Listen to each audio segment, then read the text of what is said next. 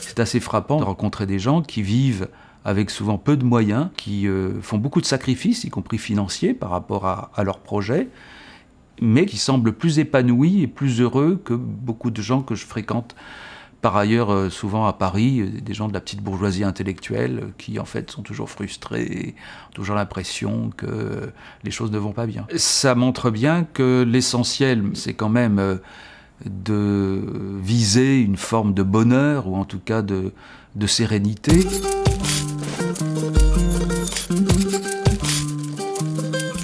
J'ai décidé d'aller à la rencontre de tous ceux qui, d'une manière ou d'une autre, radicales ou pragmatiques, vivent et travaillent différemment du commun des mortels. Faire connaître toutes ces initiatives qui, euh, en règle générale, sont dans le domaine de l'écologie et du social, et qui font que euh, les gens innovent, mais euh, pas dans l'acception traditionnelle du terme, une innovation purement technique, innovation dans dans la façon de maîtriser son existence.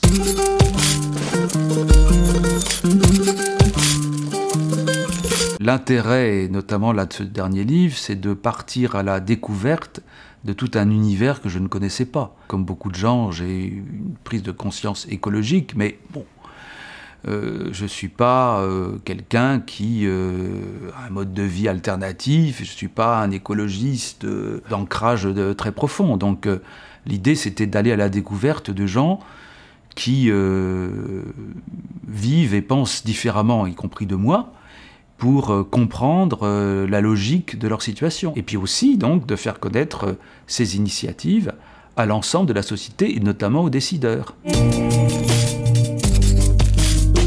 D'abord, que, tous ceux qui sont engagés dans ces dynamiques sachent qu'ils ne sont pas seuls, ils ne sont pas aussi isolés qu'ils pourraient l'imaginer et qui représentent une force dont ils ne sont pas forcément conscients. Si ces gens-là se connaissent mieux, savent qu'ils ne sont pas seuls et qu'il y a des tas d'initiatives qui sont cohérentes avec euh, leur philosophie euh, ou convergentes dans des domaines différents, dans l'habitat, dans l'agriculture, euh, dans l'économie sociale, dans, des tas de choses, eh bien, ils représenteront quand même une force avec laquelle la société et la politique euh, devra compter. À l'arrivée, donc, je suis euh, convaincu qu'on est face à quelque chose d'extrêmement important qui n'est pas très lisible dans les médias. Je suis persuadé que c'est une minorité qui va aller grandissant et qu'en tout cas, elle nous dit des choses sur les modes de vie de demain.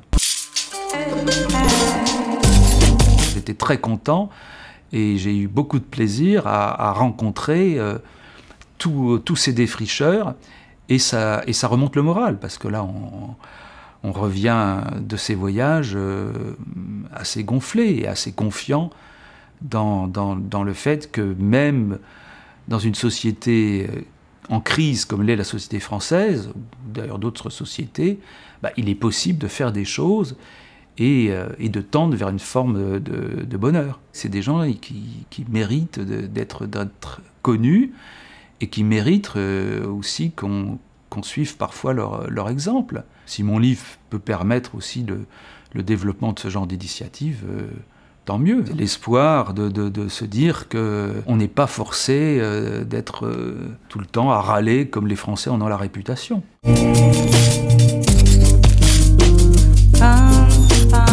Nous sommes dans un modèle, à mon avis, de civilisation un peu, un peu épuisé, en tout cas très fatigué. Hein, j'appelais ça la fatigue de la modernité.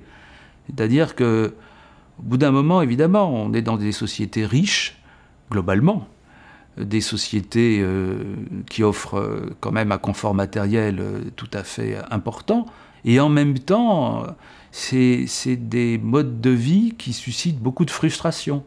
Hein. la consommation, c'est un cercle vicieux au bout d'un certain temps. C'est-à-dire que les gens en veulent toujours plus. Ce que je constate, c'est que les gens ne sont pas très très heureux. Hein. Il suffit de se promener dans le métro parisien. les gens ne respirent pas, respirent, pas le, bonheur. Euh, vous savez, dans, les journaux ou dans les médias en règle générale, il y a du positif. Hein. mais c'est la publicité. Un journal télévisé, bon, bah, c'est sans arrêt des catastrophes, il y a le terrorisme, il y a la crise, il y a le chômage. Et puis maintenant, une page de publicité, alors là, tout, tout, est bien, vous achetez une nouvelle machine à laver, euh, vous êtes heureux, on vous propose des, beaux voyages, voilà.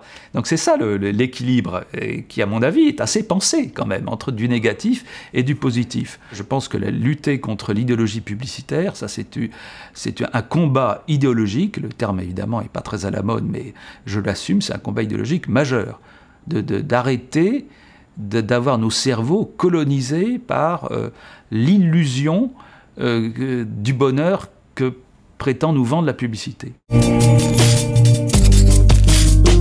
Je suis journaliste politique, personne n'est parfait, et euh, c'est vrai que maintenant ça fait une trentaine d'années que je suis dans, dans, ce secteur et j'en suis un peu fatigué. Je me suis réorienté vers plutôt l'écriture de livres d'une autre façon de faire du journalisme, de faire du journalisme pas approfondi, et réorienter également du point de vue de, du contenu de ce que je fais vers euh, l'exploration de la société française et pas simplement euh, la politique. Il y a trois ans, j'avais publié au Seuil un, livre qui était une envie très personnelle, intitulé Voyage en France, voyage au pluriel, qui était une exploration au petit bonheur la chance de, notre euh, beau pays et c'est à l'occasion de cette exploration, où j'avais aucune hypothèse particulière, hein, je partais vraiment le dé au vent, que je m'étais rendu compte qu'il y avait déjà pas mal de gens qui vivaient suivant une échelle des valeurs différente de l'échelle euh, dominante, c'est-à-dire qui avaient rompu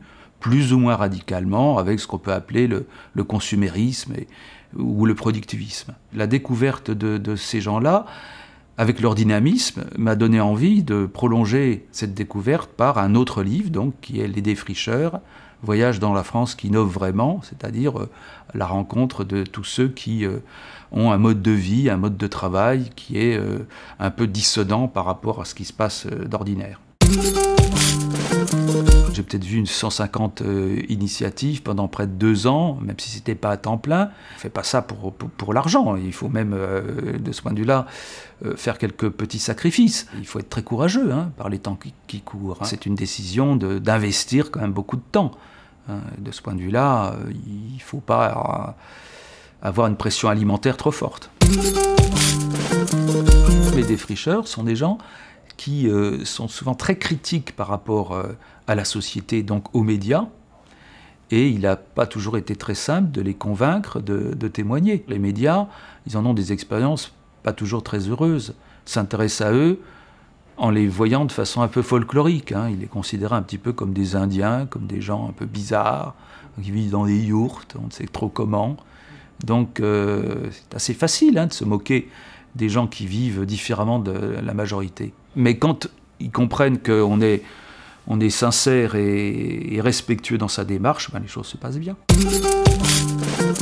Les médias, bon, bah, c'est l'éternel problème. Hein. Ils parlent de, ce qui ne marche pas, hein, des trains qui n'arrivent pas à l'heure. Mais c'est vrai que les médias devraient être un peu plus attentifs aussi à ce qu'il peut y avoir de positif.